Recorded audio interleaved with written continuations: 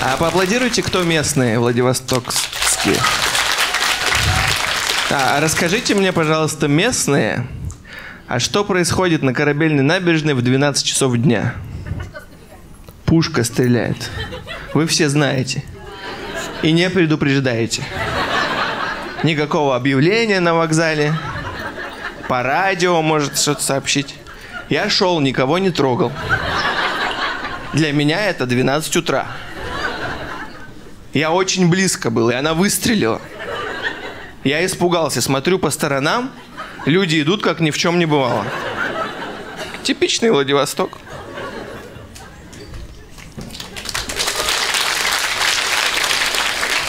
Да, а я вот уже долго живу и э, часто слышу, что у вас есть такой район Чуркин, и говорят, там злые люди живут.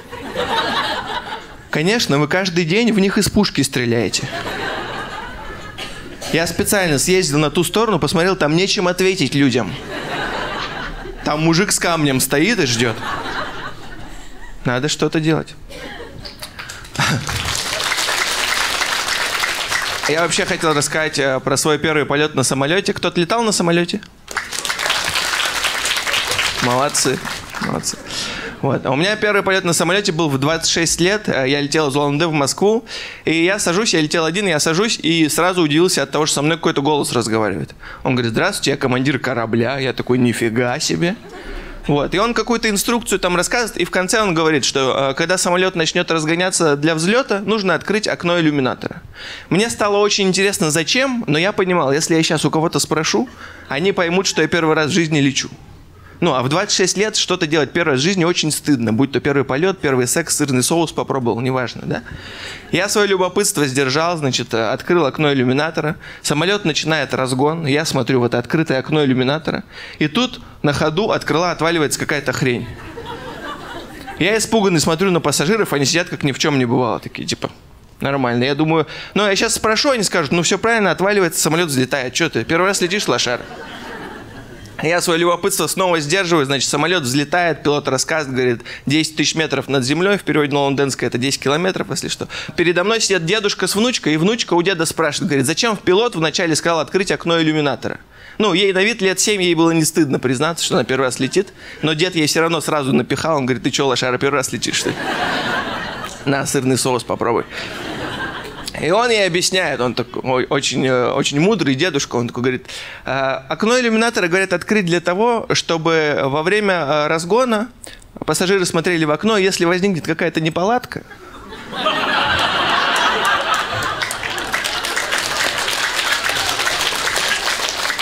они могли бы это увидеть, сообщить экипажу, и так предотвратилось очень много катастроф. Я сижу, смотрю так на всех я, получается, вас всех спасти мог. Но я же не лох признаваться, правильно? Но мы выжили, все нормально. Да. А поаплодируйте, кто не любит коррупцию. Это не корявый переход, там сейчас поймете. А я тоже не люблю коррупцию, я всегда искал, кому заплатить, чтобы ее уже не было наконец-то. Вот. Такая социальная. Вот. Значит, и я понял, что а, основоположником коррупции, откуда она вся пошла, где она легализована, это вот самолеты, аэропорты, это все оттуда. Я вам сейчас объясню. Значит, смотрите, нам говорят, когда мы летим, что багаж 23 килограмма. Больше нельзя. Но если заплатил, можно. я думаю, а что за прикол? Типа, вот ты приходишь, тебе говорят, перегруз нельзя, плати 2 500. И они, ну ты заплатил, они такие звонят в депо, это самолетный, говорят, нам самолет помощнее отправьте. У нас 2 500. Я подумал, а что если каждый пассажир придет с перегрузом? Это же охренеть сколько, да? И самолет не сможет взлететь, мы поедем до Москвы.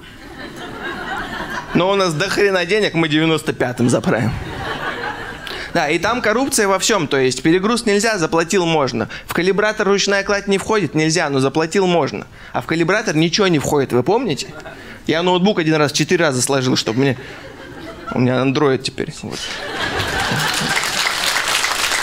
С едой, с водой в аэропорт нельзя, но там купить можно. Ту же самую воду, да? Ну, а мы же еще с вами мужики, мы же финансовой грамотности обучены, да? Вот нам на этой ленте говорят, воду либо выпивай, либо выкидывай. Мы выпиваем, естественно, насухо. При мне мужик пятилитровку всадил в себя. Подсолнечного масла. Он на Масленицу в Москву летел, видимо, блины делать.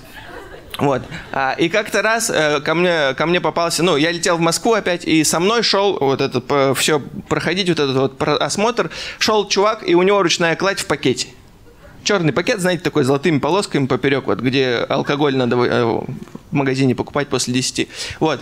И он такой идет, мы все на него смотрим, нам очень весело, человек с пакетом в ручной клади, да, и он кладет этот пакет на ленту, довольный, женщина там и так злая за компьютером. А она такая пакет останавливает, такая, чу в пакете. И он такой, города так, дезодорант. Ну, на тренировку в Москву полетел, судя по всему. Вот. Она говорит, нельзя. А он из этих, из экономных. Она говорит, выкидывай. Он такой, не-не-не-не. И вот так весело на себя. Тан, тан. Потом чувствует уже весь акс-эффект, а тут еще осталось. Он пакет так встряхнул, надул, туда остатки закачал. Так пакет надул, говорит, у меня в Москве планы еще. И погнал. Да. А еще, знаете, вот место 7Б летали там? 7Б, знаете место посередине, которое? Я вот вообще не понимаю, что за прикол, потому что я, я сижу, мне хочется руку положить на подлокотник правую, я поворачиваюсь, тут человек справа положил. Я поворачиваюсь налево, тут человек слева положил. Я вот так поднял руки, сижу. Думаю, какой сервис, да, знает, что у меня любимая группа «Руки вверх», да? Потом мне ногу свело, вторая моя любимая группа, я решил вытянуть ноги вот так. Я вытягиваю ноги и врезаюсь ногами впереди сидящего, потому что он вот так сидит. Я думаю, а, так надо сидеть, значит. Я сгибаю ноги и врезаюсь сзади сидящего, потому что он вот так сидит. Я такой, а ноги мне куда девать? Ни ноги, ни руки, я вот как, как дурак сижу. Я подумал, ну, раз, так, надо калибраторы и для людей поставить на место 7Б. Вот типа ты ручную кладь проверил, и потом на калибратор для человека подходишь, вот так садишься, вот так руки вытянул, вот так ноги сделал. Если 5 часов просидел, можешь лететь на месте 7Б. Да. Я потом второй раз обратно с Москвы полетел, мне опять выпало какое-то 8-9Б место, я расстроился. Говорю, блин, вот это место неудобное. И мне вот эта девочка говорит, а, ну вы можете доплатить, нормальное место будет. Вон там еще подлокотники можете купить. Да, коррупция это везде. А... Недавно на месяц брал аскезу от шоколада. Да, я, я, мужики, я сейчас объясню. Я типа закодировался, поняли? Но, но у них там прикол есть.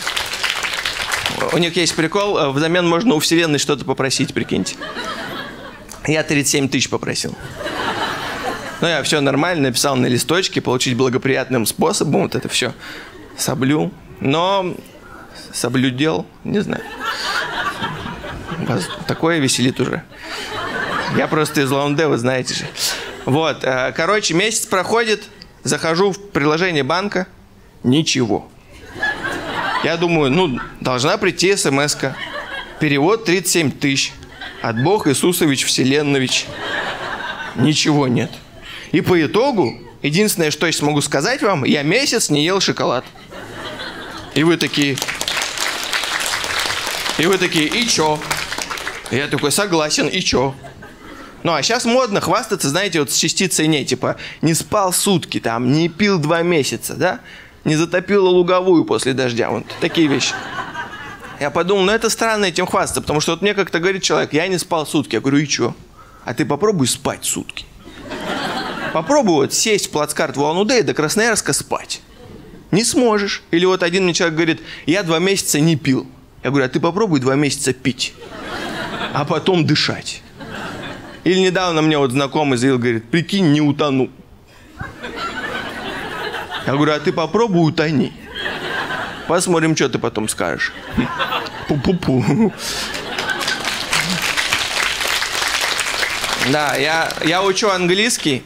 Вот. Э, ну, я в детстве тоже учил, но я в детстве учил по играм. Знаете, я вот, э, ну, в совершенстве могу сказать, кидаю гранату, там сектор чист, вот это все. А сейчас я учу через приложение Duolingo. Знаете такое? Тыдын, правильно, да. Вот, вот, значит, э, и у меня из-за этого смешение некое происходит. Вот недавно мне заказали мероприятие провести, э, называется Viewpoint. Я в своем смешанном английском перевел вид очко. Меня нисколько не смутило это. Я сажусь в такси, говорю, меня вид очко, он меня на Чуркин увез. В нас из пушки выстрелили, все. Все сошлось. Да. А, но сейчас я учу вот через Duolingo, у меня уже 624 дня ударного режима. Вот. Но, да, огненная сова. Вот. Но результата никакого. Или, как правильно сказать, результат очко. Как вы поняли, да? Вот, э, я прочитал, на самом деле, очень эффективно будет, если учить английский, общаясь с носителем языка. Но мне негде было найти носителя языка, и вот, наконец-то, вселенная мне послала вместо 37 тысяч носителей языка. Недавно моей девушке в директ написал турок. Пишет hello. Ну, я взял сразу, говорю ему hello тоже. Он нет, не отвечает. Я на английскую раскладку перевел. Hello. Опять не отвечает. Ну, я ушел какими-то своими мужицкими делами позаниматься, и сквозь мытье посуду слышу, она мне кричит... Она мне кричит, нам турок ответил! Вот так, радостно. Я бы никогда не подумал, что я буду радоваться этой фразе от своей девушки. И я сразу прибегаю, беру телефон, начинаю печатать. Она такая говорит, подожди, сразу не отвечай. Он подумает, ты ждешь его сообщения.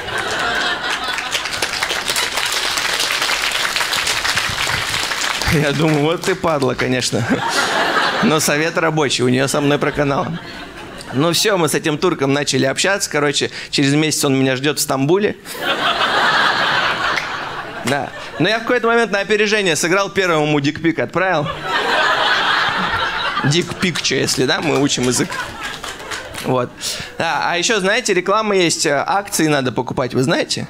В курсе вообще? Инвестиции, вот это Тинькофф, вы знаете? Я, короче, увидел, когда я думаю, надо, надо вникать в тему, потому что я вот Марвел вот это все пропустил, я потом, э, они все обсуждают, я ничего не понимаю. Я думаю, надо вникать. Я, короче, прочитал акции, типа, это когда ты совладелец, облигации, когда ты занял кому-то там какой-то компании. Я, короче, скачал Тинькофф инвестиции, захожу, акция Сбербанка 260 рублей. Я такой, можем позволить себе. Короче, покупаю, надеваю костюм, приезжаю в офис Сбербанка, захожу. Ко мне подходит консультант Елена. Я говорю, Леночка, привет, что, как дела у нас здесь? Она говорит, она говорит, извините, вы кто? Я говорю, а, еще не сообщили. Егор Гулос, владелец. А что, думаешь, зеленым хожу? Она такая, мужчина, вы, наверное, пьяный, выйдите. Я говорю, Лен, ты уволена.